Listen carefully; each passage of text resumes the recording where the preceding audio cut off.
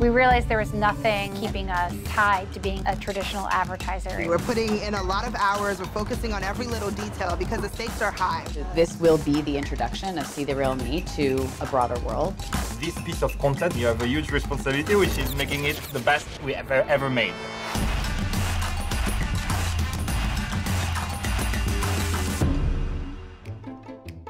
When I came to Clean and Clear, Clean and Clear was really in crisis. We were losing relevance with teen girls. As we started to peel back the onion on why that had happened, it became clear that we weren't putting out content in the places where they were watching content. We were still in what we would call an old model of communication. Clean and clear and under control. We didn't have a lot of opportunities for teens to talk back with us and be a part of the conversation. One of the ways that we decided to go about that was creating our See the Real Me anchor series. I'm Clarissa. See the real me. See the real me.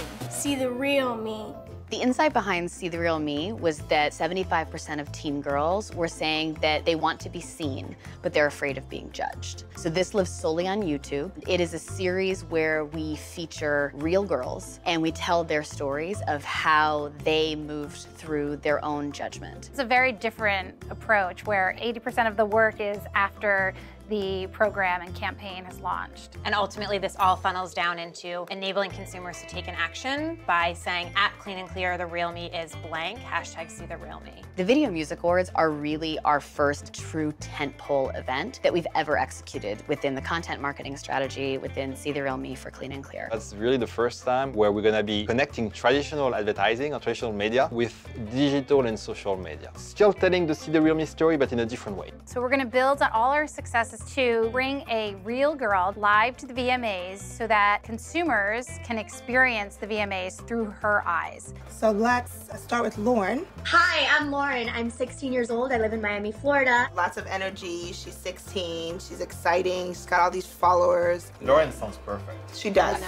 She's going to take over all of our social media channels and cover the VMAs from her point of view and her voice and her content. She's a different evolution of a anchor series See the Real Me episode. We've never put our brand in the hands of somebody before in this particular way where we want her to be her authentic self, but we also want her to speak on behalf of the brand. We're about to put our brand in the hands of a 16-year-old. It makes me very nervous.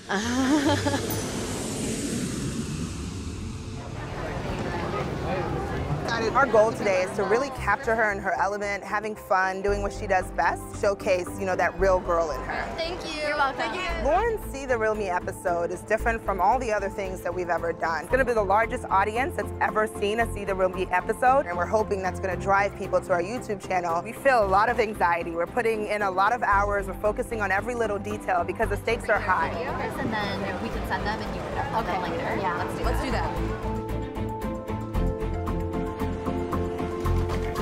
Let me just. Yes, this is Beyonce. Okay. Where is this fall? It's kind of different. We'll I'm not nervous. I'm actually really excited. And I thought I would be nervous, but I think the excitement's just overpowering that emotion. So. Okay, so I'm going to the VMAs, so follow my journey.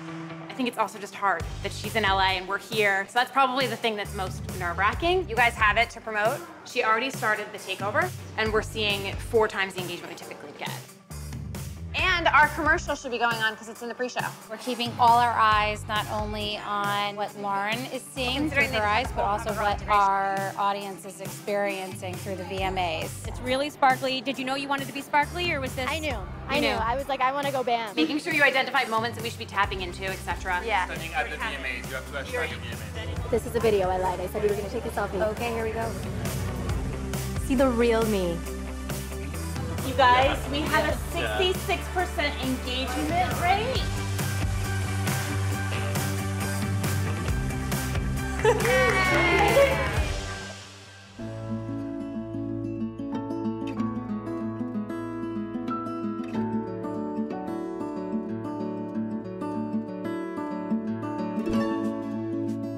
We put some goals out there of like we'd like to capture another maybe you know two to five thousand more fans, subscribers, followers, etc. We got more than thirty-five thousand in that very short time period. People saw it, were curious, came to YouTube. They uh, watched it from that content, then they went to others. So Yeah. we got 252 million impressions. It's rare for a marketer to be able to see the impact right, Right. away.